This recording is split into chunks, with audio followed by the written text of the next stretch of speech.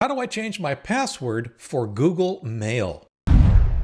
Hi everyone, Leo Notenboom here for AskLeo.com. Maintaining a strong password is, of course, highly recommended, but sometimes if you have a strong password, you may come across situations where you need to change that password. Maybe it's discovered in a breach, maybe you know that somebody else has found out your password and you need to change it, or maybe you're just not sure and want to change it for safety's sake. I'm going to show you how you do that in Google Mail, also known as Gmail. So here we are in Google Mail. Now you'll notice that I'm signed in. I need to be very, very clear about this.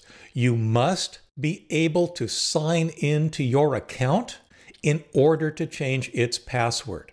Signing in is how you prove you have the authority to change the password. If you can't sign in, then you need to recover the account first, which typically will involve setting a new password if you're successful. But Remember, you have to be signed in in order to change the password. So we are. Here we are in Gmail. It's not always obvious how to change your password, but it actually is relatively simple. This A in my upper right hand corner, that's actually my profile picture. Since I actually haven't set a profile picture, it just uses an initial or two of the name associated with the account. In my case, well, it's Ask Leo, so it just uses A. We'll click on that, and you can see here, yep, there's just the name, Ask Leo. That's where the A comes from. What we want to click on is managing the Google account. Remember, your Gmail is just one part of your entire Google account. Everything that's associated with your Google account is a single account, be it Gmail, Google Drive, YouTube, any of that kind of stuff. It's all your Google account. So what we do then is click on security. And then down here, you'll notice, yes, password was recently changed because I practiced for this video. But here it is, password.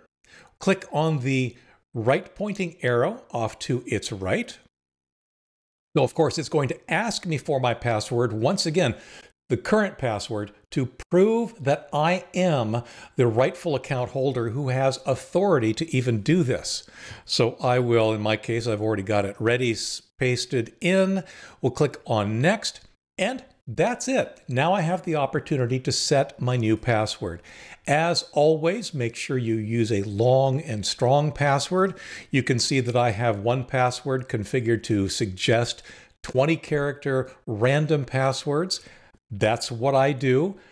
Your approach may be different, but again, the important thing here is that since your Google account is the doorway to so many things, not just Google, but all the accounts for which you may have used your Gmail address as the account address or the account recovery address, yeah, this is an important account and you want to make sure you've got it secured properly.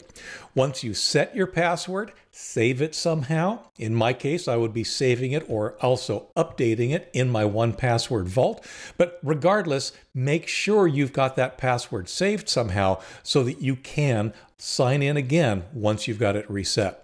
Now, I will throw in a recommendation. And I'm going to go back here to managing the account because I want to, in security, suggest that you also turn on two-step verification. This is a wonderful time to do so.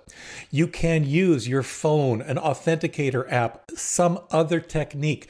But the bottom line here is that what two-factor authentication does for you is it prevents someone from signing into your account even if they know your password.